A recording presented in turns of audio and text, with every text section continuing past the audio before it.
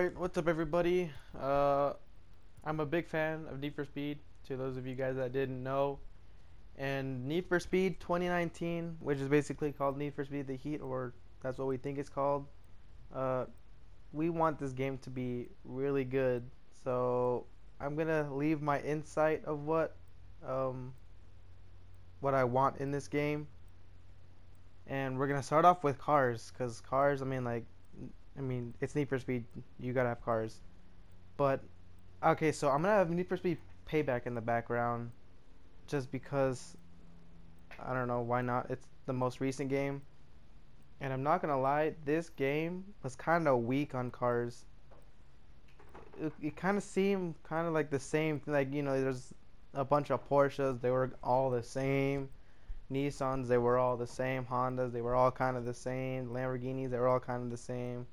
So, I don't know. It kind of seemed really boring after a while. Like, you know, I, I own a lot of cars and I don't really use all of them, which really sucks because I would really want to, but I don't. So, yeah. And the next part we're going to be talking about is the upgrade, like, I guess the customization. So, this game is pretty good on customization. I'm not going to lie. But then there's something, and then there's some cards that have like nothing.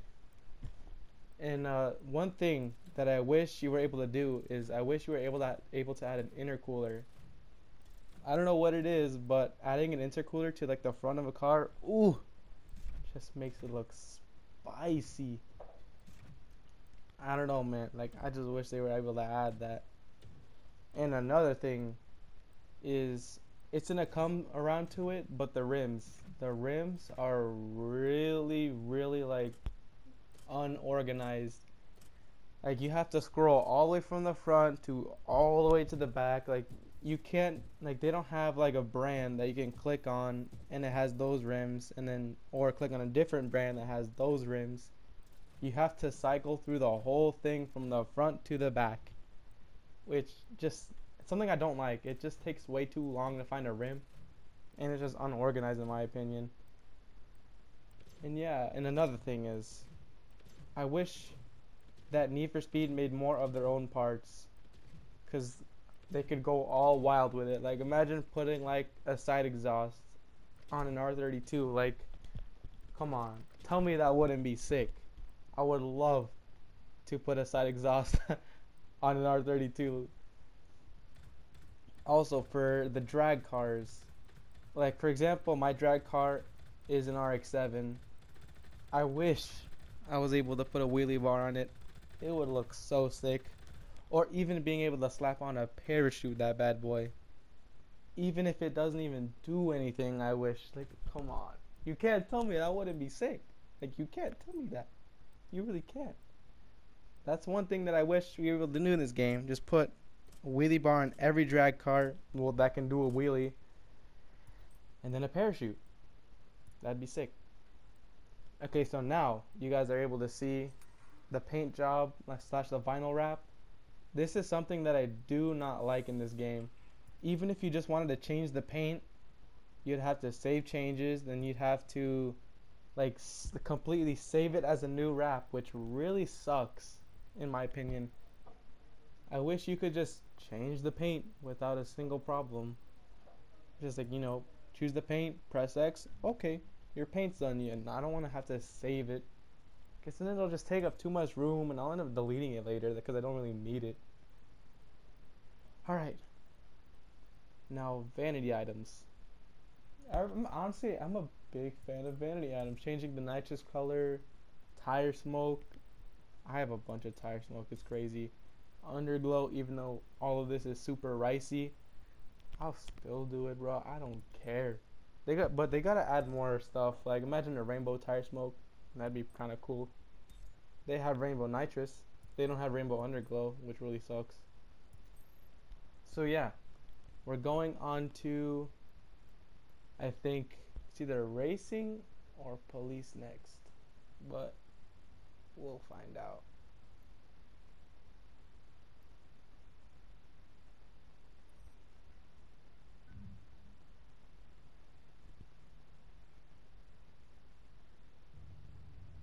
Okay, so we're doing drifting. Okay, I'm not gonna lie, drifting was kind of fun in this game. But the only reason it was so fun is because it was so easy. Like, they need to make it harder, in my opinion. Just, like, make it harder to where when you actually get a pretty good slide, it's so satisfying. Because, like, this game, there's no satisfaction. It's way too easy, in my opinion. Like, come on, like, you press the brake and you start sliding. It's like, come on. So I'm going to let this play out. Uh, just so you guys can watch me drift. I don't know. I'll meet you guys when it comes to the racing, and then I'll talk about the racing. So yeah.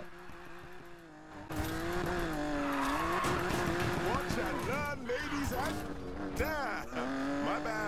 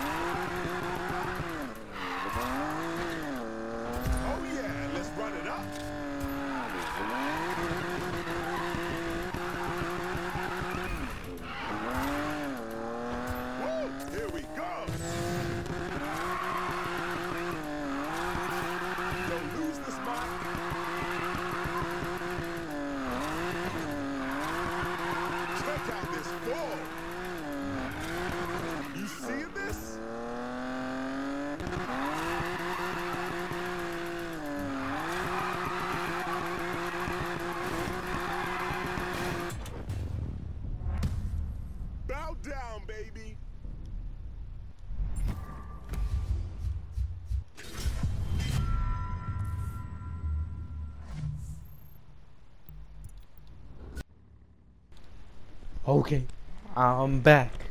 Alright, so the racing. It's kind of the same problem that I have with the drifting.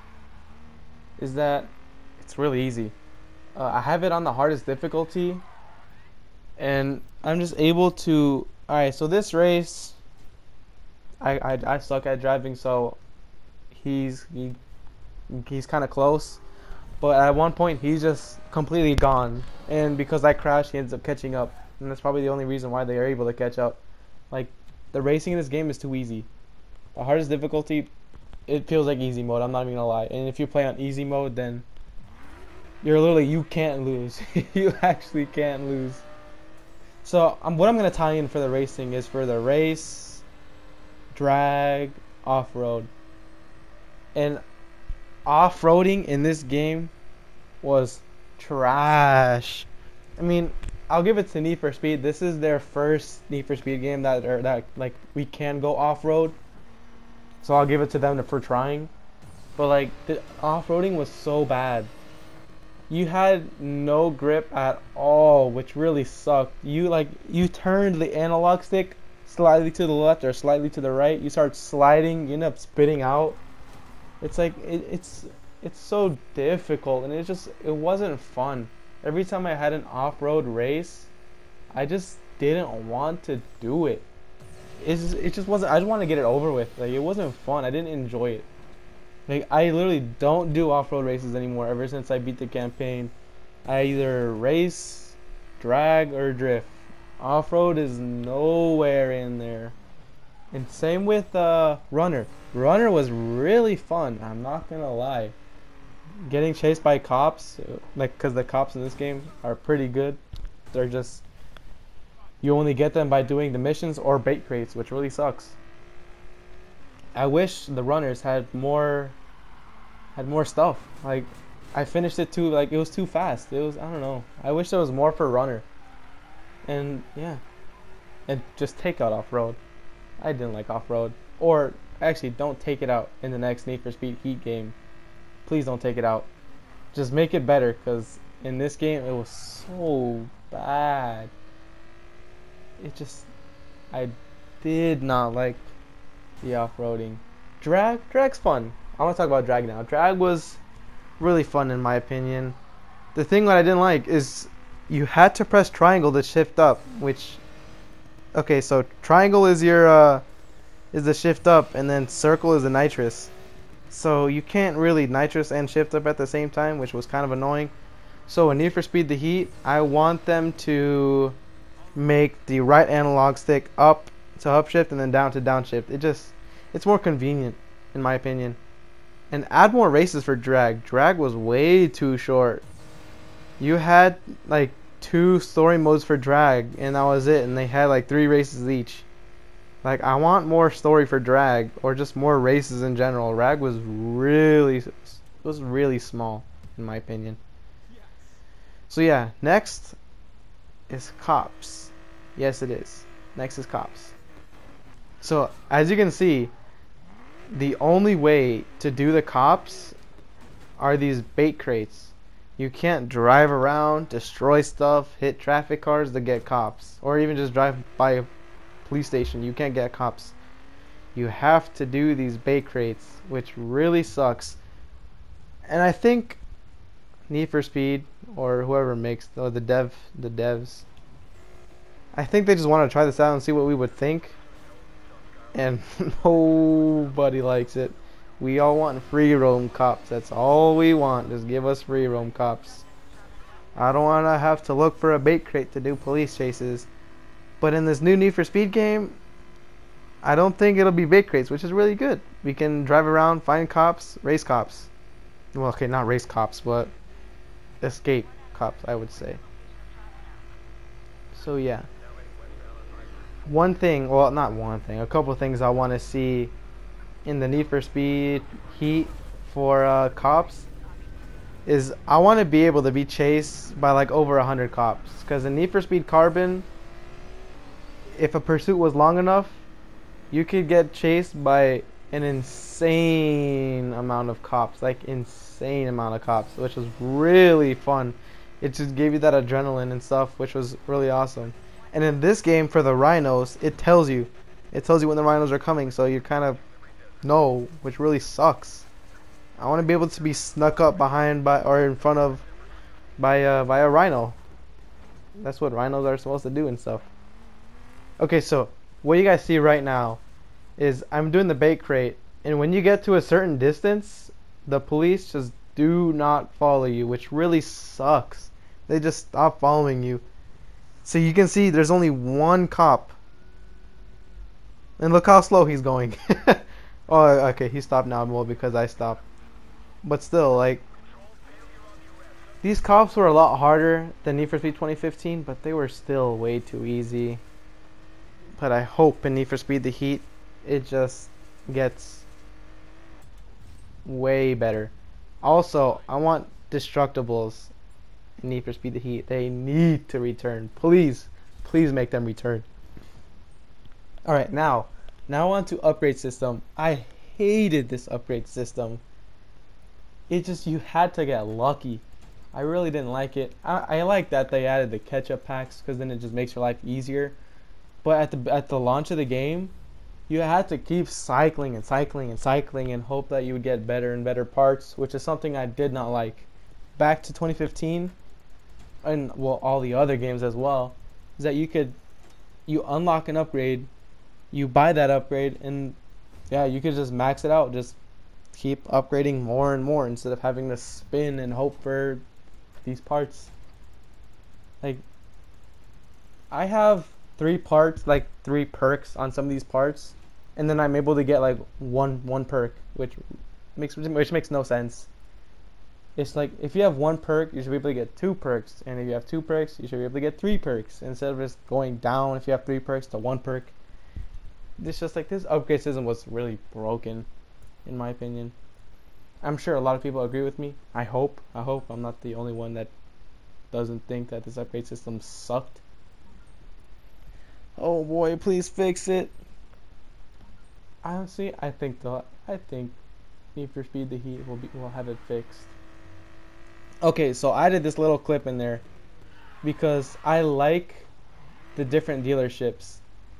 I don't know I don't know why. I just I like being able to if I wanted to buy a runner car, go to the runner dealership and then go to a race dealership if I want a race car and drag dealership if I want a drag car. I like it like that in my opinion. Okay, so here, here you guys see is the camera. In Need for Speed The Heat, I want the camera to be able to go further. Like, I'm literally, like, I'm not far, which really sucks. Like, I don't know. They need to improve this camera mode. I like the little effects because there are a lot of effects that you can do if you're like a really camera person, which I do play with, as you like as you guys are gonna see in like a couple seconds. But you like there's a certain distance that you can go for the drone, which really sucks. And the thing is, it turns really slow and it moves really slow. Like I wish you were able to change the sensitivity for this thing. So for Need for Speed the Heat, please let us be able to change the sensitivity. Because when I turned that drone, it turned way too slow and it just got really annoying. And then it just moves too slow. But please don't remove it. Don't remove the drone mode. It's still really fun to take pictures, mess with all the uh, all the effects and all that good stuff. And uh, I'll leave it here. I'll just leave it you guys can see all the stuff that I do and I'll come back at the end and mention one small thing that I wish they added back into the game.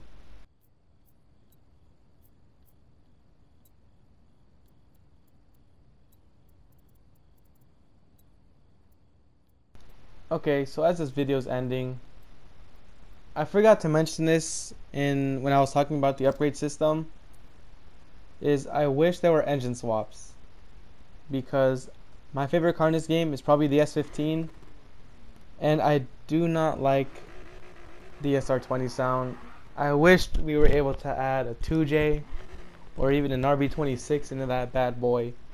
But when it comes to like an RX-7, I do not want to be able to put a V8. You do, you cannot, like, it, it should be illegal. You shouldn't be able to do that.